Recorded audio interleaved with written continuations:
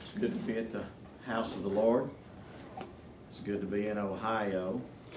And uh, good to be back with God's people here. We are thankful for the opportunity to be with you, brethren, and appreciate the uh, and value the trust that you have placed in us to come and in our feeble way share a portion of God's Word.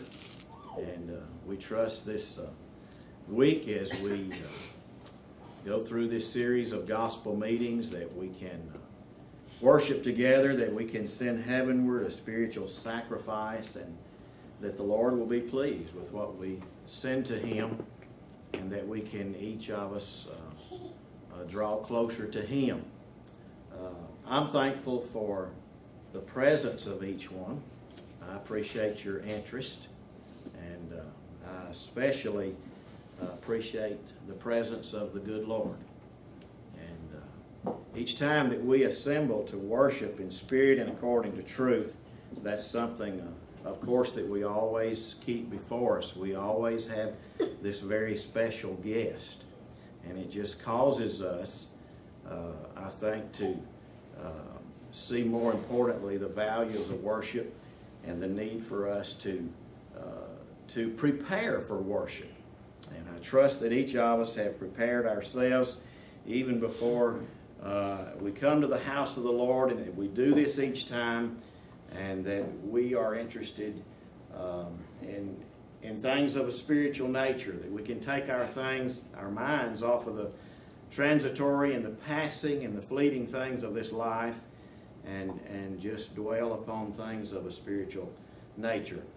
Heaven was interested in you, and heaven was interested uh, in me. Heaven was interested in making a difference for fallen humanity who had become separated from God because of sin. And of course, that difference was made with the shed blood of God's own Son, our Savior Jesus Christ. Uh, he was called upon to make a difference for you and I, and he willingly responded. And if it had not been for that, the world's greatest love story, you could have as well stayed at home this evening. I could have stayed in the state of Tennessee, and we wouldn't even be interested in things in, like what we're involved in this evening. But heaven was interested, and heaven willingly responded for your sins and my sins. This afternoon, uh, sometimes it's hard for us to decide what uh, maybe to speak on as we begin a series of gospel meetings, but we wish to consider um, the religion that surrounds this man who we have uh, ended our prayer in, uh, in his name and by his authority this evening, and also the one that we have sang about this afternoon, the one, the man that we know as Jesus Christ. You know, in the media, which travels uh, um, worldwide nowadays in seconds, there seems to uh, be plenty of coverage that is given to the religions of men which oppose Jehovah God and which oppose His Son, our Savior Jesus Christ. And if any press, especially in mainstream media, is given to Jesus Christ, we usually find it in our, in our times to be very distorted. We, we find it to be of most of the time of a derogatory nature if it's in mainstream media. And so this afternoon, what, what can we, as we, as we begin our, our meeting this week, what can we know about the religion of Christ without any bias, without any ill will? This is our objective this afternoon. Religion is defined as an organized system of faith and worship. It is defined as a personal set of religious beliefs and practices, also as a cause, a principle, a belief uh, held to with faith and ardor. And if, is one, if one is said to be religious, it is that relating or devoted uh, to the divine or that which is held to be of ultimate importance biblically speaking, when James wrote of pure religion in James 1 verse 27, he was describing what enters essentially into religion. He was encouraging you remember piety. And the phrase pure religion means that which is genuine. It means that which is sincere or that which is free from any uh, improper mixture.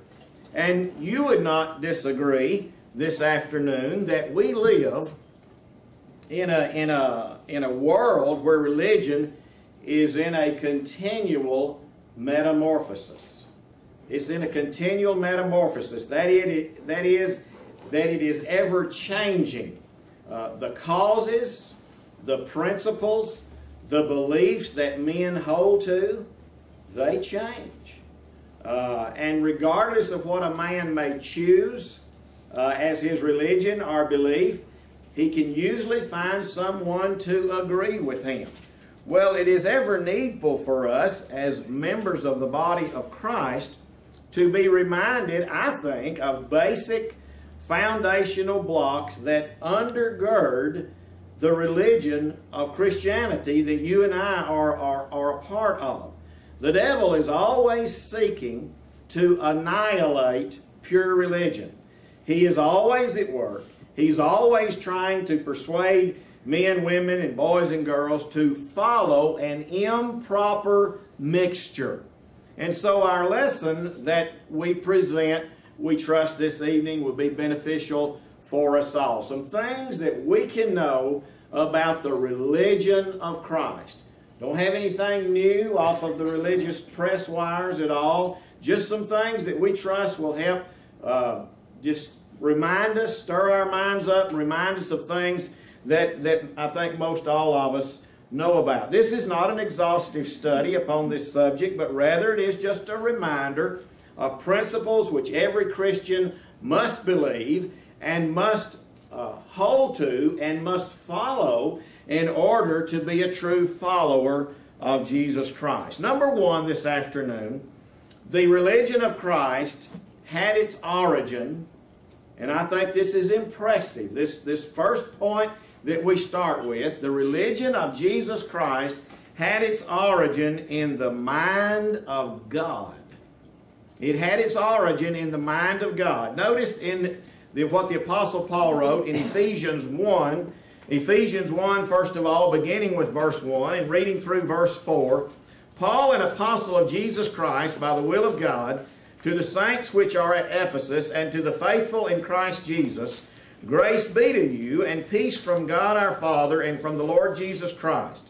Blessed be the God and Father of our Lord Jesus Christ, who hath blessed us with all spiritual blessings in heavenly places in Christ, according as he hath chosen us in him, notice, before the foundation of the world, that we should be holy and without blame before him in love.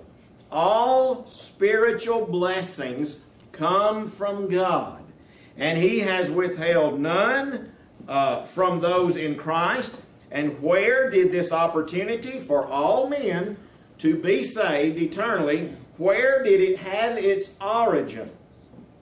In the mind of God. In the mind of God.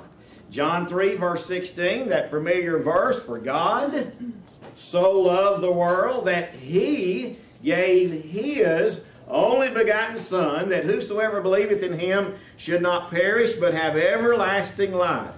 God was the originator of this plan for all men to be saved. Notice further in the book of Titus, in Titus, the first chapter, Titus 1, verse 1 and 2, says, Paul, a servant of God and an apostle of Jesus Christ, according to the faith of God's elect, and the acknowledging of the truth which is after godliness, notice verse 2, in hope of eternal life, which God, that cannot lie, promised before the world began. Paul's labor for the Lord was in hope of eternal life. And what about this hope? Listen, it was promised by God God that cannot lie before the world began.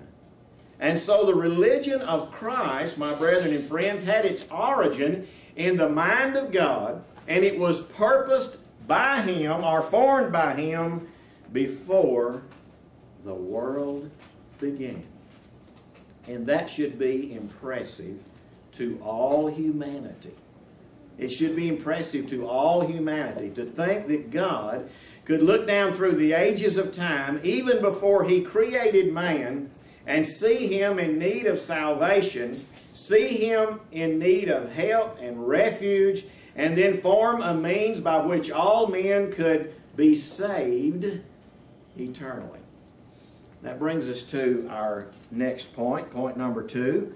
The religion of Christ revolves around that very being, the Son of God.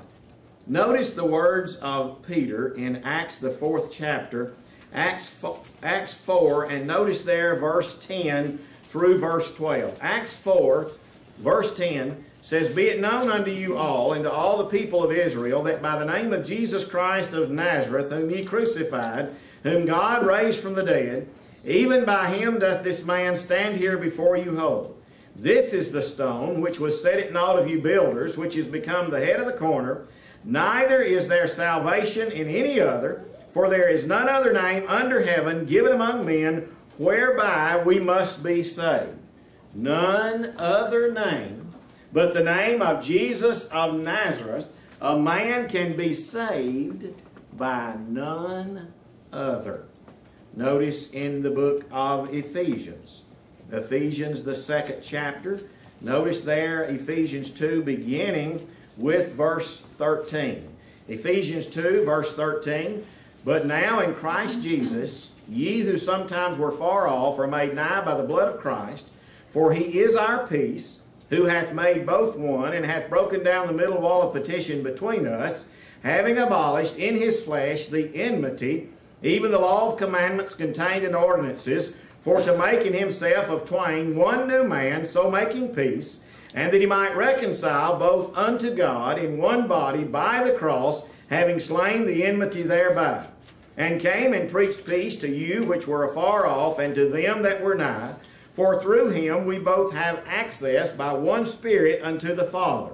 Now therefore ye are no more strangers and foreigners, but fellow citizens with the saints and of the household of God, and are built upon the foundation of the apostles and prophets, Jesus Christ himself being the chief cornerstone in whom all the building, fitly framed together, groweth into an holy temple in the Lord, in whom ye also are builded together for an habitation of God through the Spirit. And so the religion of Christ revolves around Jesus Christ, Himself being, the Scripture says, the chief cornerstone. Further, look at Ephesians 3, and notice there verse 9 through verse 11. Ephesians 3, verse 9 says, And to make all men see what is the fellowship of the mystery, which from the beginning of the world hath been hid in God, who created all things by Jesus Christ, to the intent that now unto the principalities and powers in heavenly places might be known by the church the manifold wisdom of God, according to the eternal purpose which he purposed in Christ Jesus our Lord. So here again, God had a plan, and God had a purpose, and the eternal purpose for the salvation of you, and the salvation of me, and the salvation of every man, woman, boy, and girl was through His only begotten Son. Not Mary, the mother of Jesus, not some man-made god or goddess. This man walked among men. He lived a perfect life without sin, and then he went to the cross and he shed his blood and he laid down his life for all men. Paul wrote in Philippians, the second chapter, in Philippians 2. Notice there, Philippians 2, beginning with verse 5. Philippians 2 verse 5, Paul wrote, Let this mind be in you, which was also in Christ Jesus, who being in the form of God, thought it not robbery to be equal with God, but made himself of no reputation, and took upon him the form of a servant, and was made in the likeness of men. And being found in fashion as a man, he humbled himself, and became obedient unto death, even the death of the cross.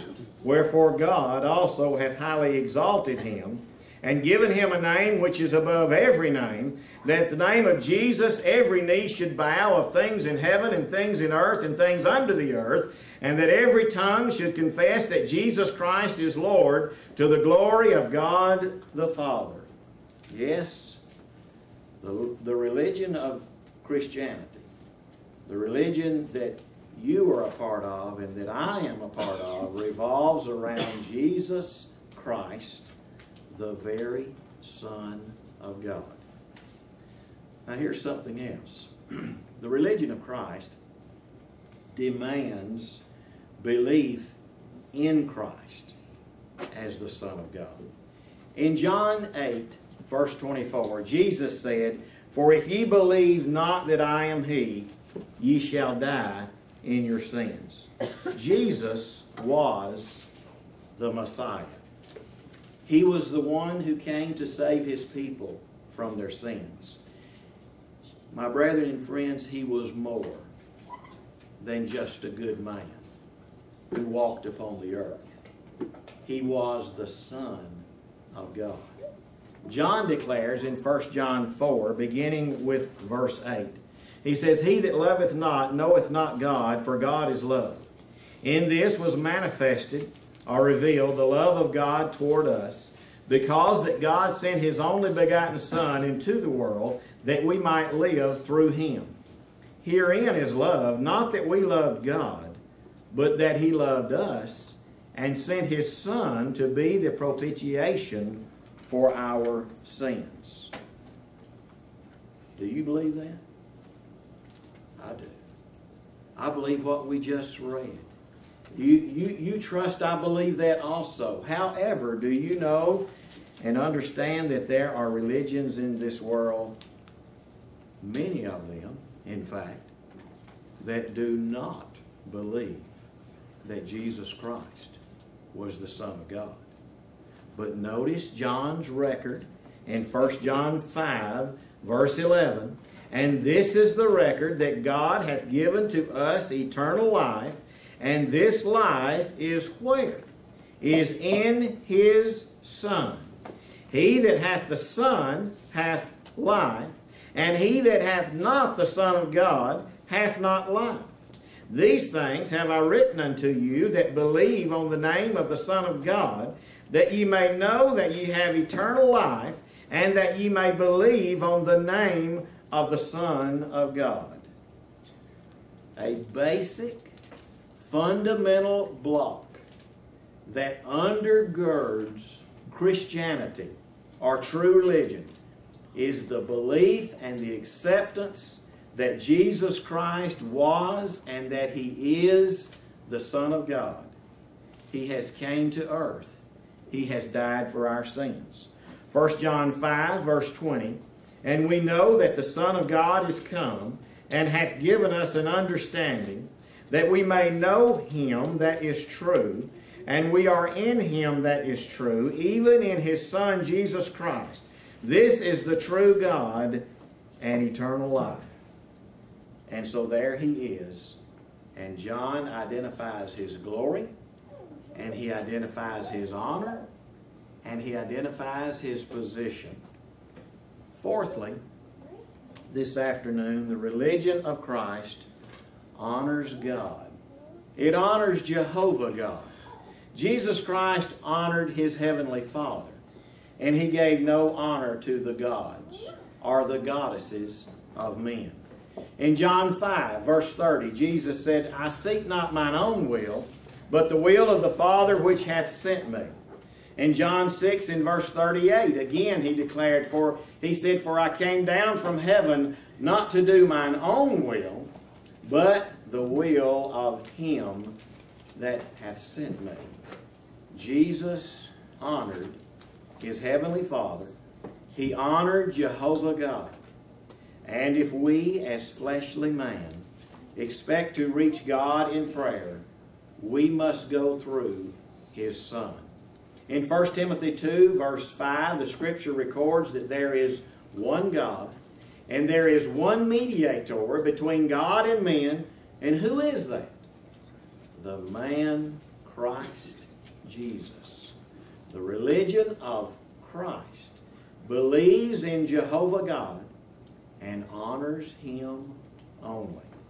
The Apostle Paul, one who embraced the, the religion of Christ that we speak of, spoke of him this way in Acts the 17th chapter. Notice there in Acts 17, beginning there with verse 24. Acts 17, verse 24 says, God that made the world and all things therein, seeing that he is Lord of heaven and earth, dwelleth not in temples made with hands, neither is worshipped with men's hands, as though he needed anything, seeing he giveth to all life and breath and all things, and hath made of one blood all nations of men for to dwell on all the face of the earth, and hath determined the times before appointed and the bounds of their habitation, that they should seek the Lord, if haply they might feel after him and find him, though he be not far from every one of us. For in him we live and move and have our being, as certain also of your own poets have said, for we are also his offspring. Paul sought to teach and to convert those given to idolatry. He was here in the city of Athens, a city that was, was, uh, was wholly given to idolatry. Perhaps we today could describe our world around us in, in, in many ways as, as a culture that is almost wholly given to idolatry. Well, let us not be ashamed to lift up and to proclaim allegiance to Jehovah God. Let us encourage our religious friends to, to put away the gods, the relics, the, the remnants of paganism that have a strong and ever growing hold on religion in our world and upon sometimes even those maybe who are professed Christians. The religion of Christ honors God, honors Jehovah God, and Him only. Now, here's something else. The religion of Christ is based upon truth. It's based upon truth. The Apostle Paul in Galatians 3 and verse 1 asked of the Galatian brethren, O foolish Galatians, who hath bewitched you that ye should not obey the truth? The Galatian brethren had failed to obey the truth. Notice John's record of the words of Jesus in John the 8th chapter. In John 8, 31 and verse 32. He said, If ye continue in my word, then are ye my disciples indeed, and ye shall know the truth, and the truth shall make you free. Now, what is truth? As used in Galatians 3 and as used in John 8 and verse 32. Well, Jesus answers in John 17 and verse 17. He says, Sanctify them through thy truth, thy word is truth. So the word is truth. The religion of Christ is based upon truth. And, and what did Christ say in John 8 and verse 31? He said, Continue in my word. And what would it make? It would make disciples. And what would you know? You would know the truth. And what shall it make you? It shall make you free. Free from what? Free from the bondage of sin.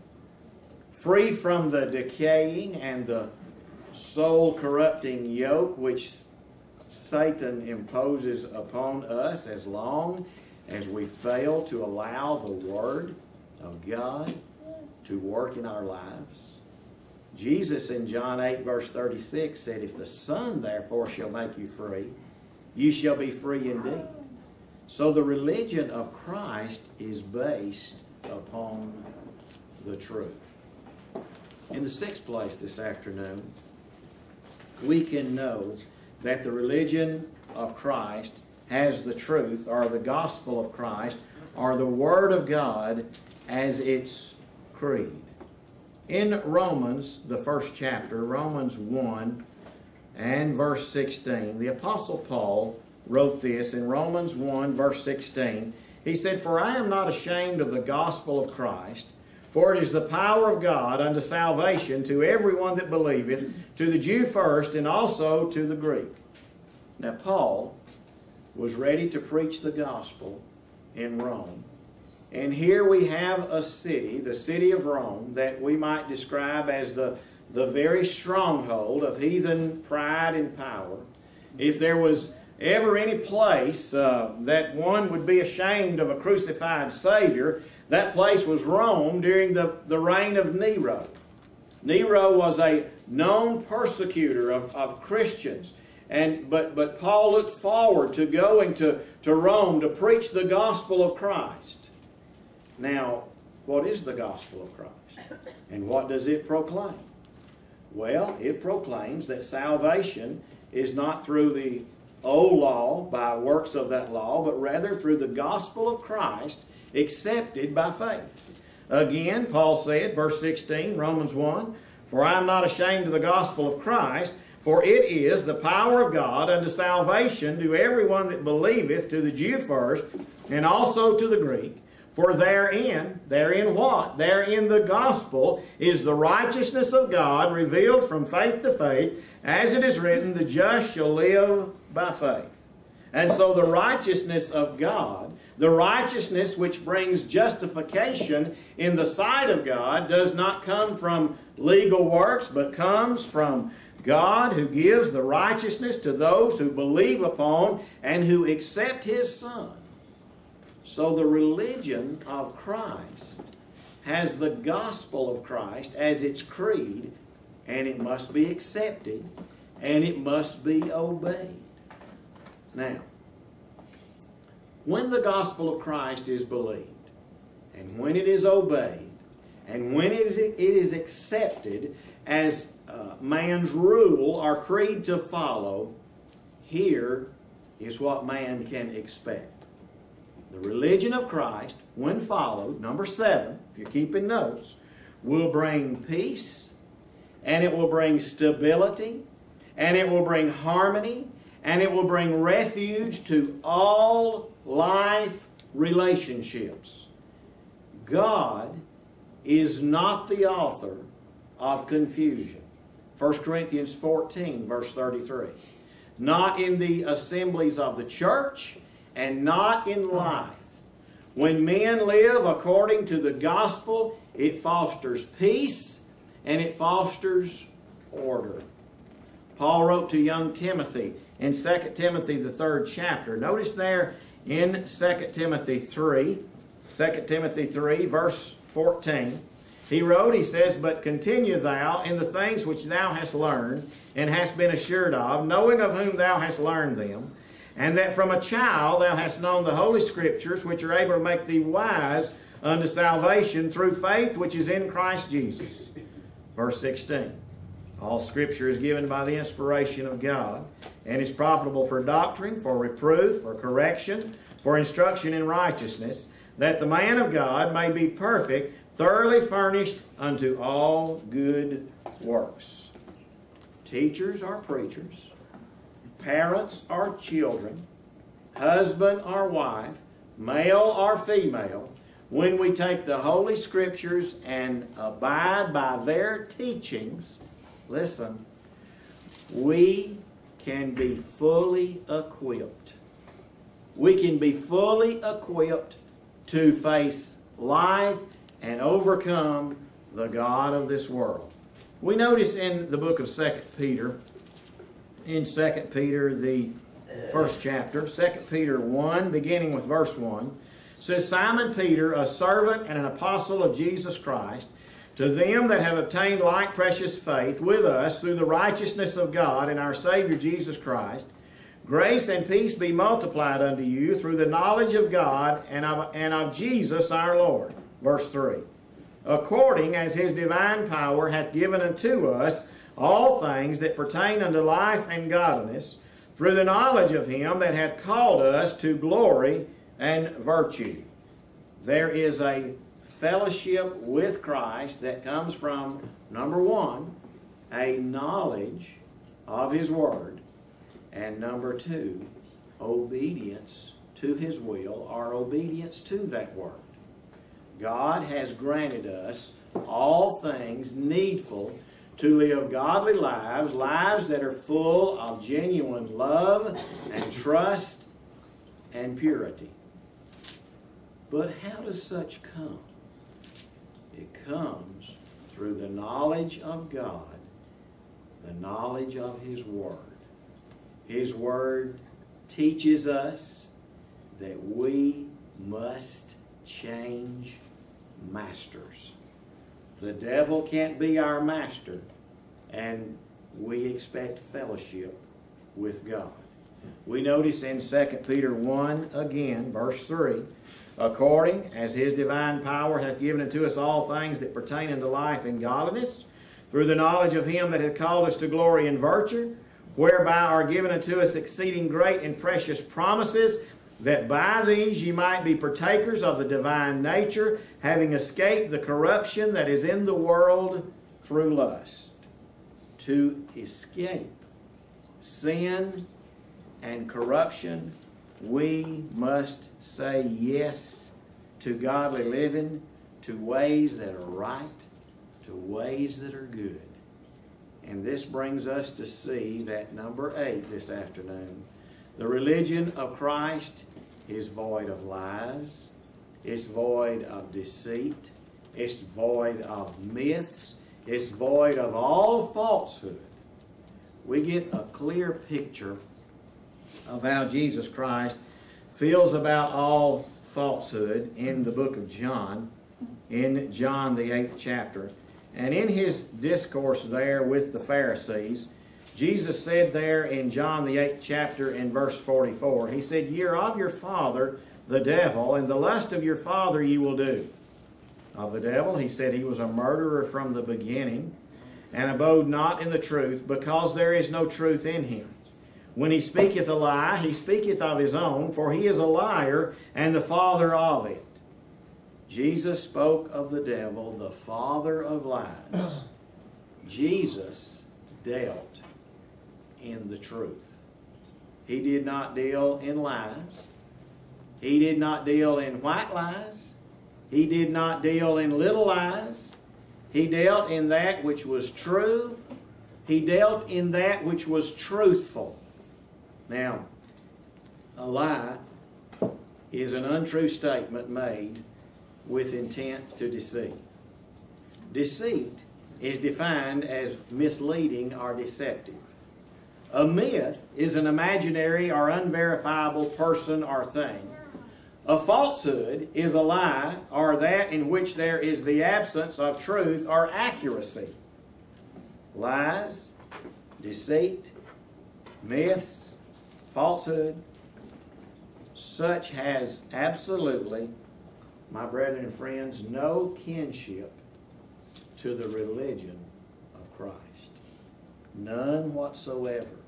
In fact, our minds are pointed in the opposite direction when we read such verses as Philippians, the fourth chapter, Philippians 4 and verse 8. Finally, brethren, Paul writes, whatsoever things are true, whatsoever things are honest, whatsoever things are just, whatsoever things are pure, whatsoever things are lovely, whatsoever things are of good report, if there be any virtue and if there be any praise, think on these things. No lie, no myth, no deceit, no falsehood. Putting away lying, speak every man truth with his neighbor. Ephesians 4, verse 25. Lie not one to another, seeing that you've put off the old man with his deeds. Colossians 3, verse 9. All liars shall have their part in the lake which burneth with fire and brimstone. Revelations 21, verse 8. It's clear, is it not? The religion of Christ is void of lies, deceit, deception, false witness, myths, and all falsehood. Peter spoke of Christ as one who did no sin, neither was guile found in his mouth. 1 Peter 2, verse 22. The Hebrew writer described Christ as one in, in Hebrews 4, verse 15, who in all points tempted like as we are, yet without sin. So the religion of Christ, and I think this, this, is, this should be and again, I understand, we're just being reminded of these things. We're not sharing anything new. But it, it should continue to be impressive to us, and we should continue to, to show the blessing and the impressiveness of these things to our children, to, to undergird them, to stabilize them. The religion of Christ revolves around a man who walked and lived upon the earth a perfect, sinless life. And folks, men change. Men change. But the facts of the gospel and the facts that surround this man, who we believe and know was the Son of God, these things are unchangeable. So, number nine this afternoon, the religion of Christ is without change. Hebrews 13, verse 8 records Jesus Christ the same yesterday and today and forever. The unchangeable Christ was the all in all. The Apostle Paul wrote this in 1 Corinthians, the first chapter. Notice in 1 Corinthians 1 and verse 21. 1 Corinthians 1, verse 21 says, For after that in the wisdom of God, the world by wisdom knew not God, it pleased God by the foolishness of preaching to save them that believe. For the Jews require a sign, and the Greeks seek after wisdom. But we preach Christ crucified, unto the Jews a stumbling block, and unto the Greeks foolishness. But unto them which are called, both Jews and Greeks, Christ the power of God and the wisdom of God. To those who obey the gospel call, whether Jews or Gentiles, the crucified Christ is found to be the power of God and the wisdom of God. And the gospel is uh, not only is found to be mighty, but it is found to be wise in meeting the wants of our old souls. It tells us of the world's greatest love story, the fact that Jesus Christ came to put away sin by the sacrifices of himself, and that in his death on the cross, he shed his blood as divine justice required, thus bearing our sins. And his message of man's need to seek him is not changing from generation to generation. And though the religions of men do change, they do rise and they do fall, they do embrace different creeds, the religion of Christ is without change. And here is something else that is becoming more odd and more strange. The religions of men seemingly swing with the tide of popular opinion. And popular opinion has made sin more acceptable. Even sins such as homosexuality or sodomy have become acceptable among many professed religionist, listen. The religion of Christ demands a life without sin. Notice the words of Jesus in Matthew, the seventh chapter. Matthew, the seventh chapter, notice there beginning with verse 17. Matthew 7, verse 17 says, Even so, every good tree bringeth forth good fruit, but a corrupt tree bringeth forth evil fruit. A good tree cannot bring forth evil fruit, neither can a corrupt tree bring forth good fruit. Every tree that bringeth not forth good fruit is hewn down and cast into the fire. Wherefore by their fruits ye shall know them. Not every one that saith unto me, Lord, Lord, shall enter into the kingdom of heaven, but he that doeth the will of my Father which is in heaven. The religion of Christ demands that men bear good fruit. The Apostle Paul wrote in the book of Romans, in Romans the 12th chapter. Notice what he wrote there in Romans 12, verse 1 and 2. He says, I beseech you therefore, brethren, by the mercies of God, that ye present your bodies a living sacrifice, holy acceptable unto God, which is your reasonable service, and be not conformed to this world, but be ye transformed by the renewing of your mind, that ye may prove what is that good and acceptable and perfect will of God. There is such a thing as a good, acceptable, and holy life before God, and such a life does not include succumbing to the works of the flesh. Well, the religion of Christ demands that we lay aside sin, for as Paul wrote in Galatians 5, verse 17, you cannot do the things that you would. Well, we're talking about things that we can know about the religion of Christ. And by the things that we have this afternoon studied and considered, we can know that Jesus Christ should be looked upon with honor. We can know that he should be looked upon with reverence. We can know that he can, should be looked upon with adoration. The religion of Christ will teach men, will teach followers of Christ to remember him, to even remember the death of Christ. When Jesus instituted his memorial supper, he did not lay a general course for men to follow, but rather he was specific in his instructions. Years later, the Apostle Paul, guided by inspiration, laid down the same course to follow. We notice in 1 Corinthians, the 11th chapter, beginning with verse 23. He said, For I have received of the Lord that, also, that which also I delivered unto you, that the Lord Jesus, the same night in which he was betrayed, took bread.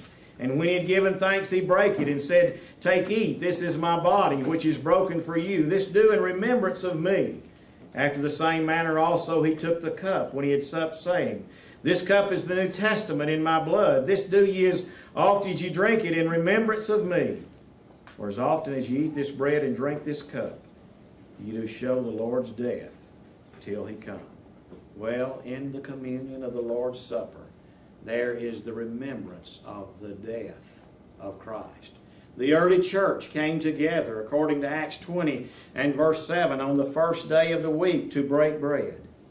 And we today, likewise, we follow that example every first day of the week.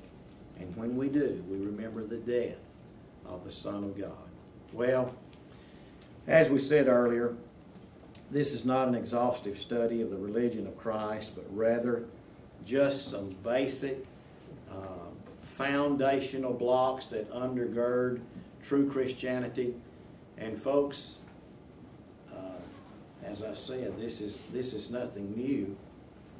But do you know that just these basic things that we have talked about this afternoon, that they can become lost? they can become lost. And they are lost in the hearts of many individuals in this world in which we live. The devil is good at what he does. And he can and he does lead men to spiritual blindness. The Apostle Paul wrote in 2 Corinthians, the fourth chapter, 2 Corinthians 4 in verse 1. He wrote there, he said, See, Therefore, seeing we have this ministry, as we have received mercy, we faint not, but have renounced the hidden things of dishonesty, not walking in craftiness, nor handling the word of God deceitfully, but by manifestation of the truth, commending ourselves to every man's conscience in the sight of God. Verse 3. But if our gospel be hid, it is hid to them that are lost, in whom the God of this world hath blinded the minds of them which believe not, lest the light of the glorious gospel of Christ, who is the image of God, should shine unto them. For we preach not ourselves, but Christ Jesus the Lord, and ourselves your servants for Jesus' sake. For God, who commanded the light to shine out of darkness, hath shined in our hearts to give the light of the knowledge of the glory of God in the face of Jesus Christ. Let us not be blinded by anything that would alter the glory and the grandeur that belongs to Christ and that belongs to the religion of Christ. Let us reject any uh, uh, allegiance uh, to traditions originated by the religions of men. True Christianity can and will be upheld upon the earth by the church that Jesus built. In Matthew 16 and verse 18, Jesus declared, I will build my church. And he accomplished that objective. And furthermore, that glorious institution, the church, which was purchased with the blood of Christ shed at Calvary's cross, is to be, according to 1 Timothy 3, verse 15, the pillar and the ground of the truth. Are you a member of the church that Jesus built? If you are not, then friend, you need to be. The church that Jesus built is the only soul-saving institution known to man. And this afternoon, you can become a member of a church that Jesus built by first of all having faith. Faith that comes from hearing or reading God's Word and then believing God's Word to be the truth. You must believe that God is, that He exists, and that He is a rewarder of all those who diligently seek Him. Hebrews 11, verse 6. Without faith, it is impossible to, to please Him. Now, you can't stop here. Many would teach you that we are saved by faith alone. Well, in no place does the Bible say this. In fact, to the contrary, James teaches in James 2, verse 17, even so faith, if it hath not works, is dead, being alone. More is required than just having faith. Jesus, the mediator, gives us another step to salvation. In Luke 13 and verse 3, he says, I tell you, nay, but except ye repent, ye shall all likewise perish. Repent means to turn. It is often defined as being sorry for sin, and so sorry that we turn, that man turns from sin. In Acts 2, verse 38, when the folks asked what to do to be saved, Peter replied, Repent and be baptized, every one of you, in the name of Jesus Christ for the remission of sins. And so there must be repentance. And then, thirdly, Jesus, the mediator, tells us something else that we must be willing to do to be saved. Hear him, as he says in Matthew 10 and verse 32 Whosoever therefore shall confess me before men, him will I confess also before my Father which is in heaven. Paul says in Romans 10, verse 10 For with the heart man believeth unto righteousness, and with the mouth confession is made unto salvation. And so we must be willing to confess him before men on earth that he will confess us before the Father in heaven. We have an example, you know, of that confession being made in Acts 8, verse 36 and verse 37. It says, And as they came into a certain water, and the eunuch said, here, uh, see, here is water. What doth hinder me to be baptized? And Philip said, If thou believest with all thine heart, thou mayest. And he answered and said, I believe that Jesus Christ is the Son of God. Friend, if you will take these steps, you are then subject to the final condition that the Bible says puts you into Christ, His body, the church. When the mediator, Jesus Christ, picked out His ambassadors, apostles, He told them to go into all the world and to preach the gospel to every creature. He promised, He that believeth and is baptized shall be saved. Mark 16, verse 15 and verse 16. The step of baptism is the only step that the Bible says puts you into Christ. Romans 6, verse 3. Galatians 3, verse 27. Baptism is the act by which we reach the cleansing blood of Christ. It is that blood that removes the sin that keeps us from God. Be baptized for the remission of your sins. And friend, if you will take these steps this afternoon in gospel obedience, the Lord will add you to the church that Jesus built. And then you can work, and then you can labor together with brothers and sisters in Christ to uphold true Christianity upon the earth. And so we bid you to take these steps this afternoon. If you're not a member of the church that Jesus built, the only soul-saving institution known to man, or perhaps you're present as a member of the Lord's church and you realize that Christ has become lost in your life. An honest self-examination of your heart and the condition of your soul perhaps has revealed that you have drifted away from the path of right. If such is the case, would you confess your sin? Would you come and have prayer offered on your behalf? James 4 verse 16 urges us to confess your faults one to another and pray one for another that ye may be healed if you're subject to the gospel call, to come to the safe harbor, then, then come and make your desires known this afternoon as we stand and as we sing the song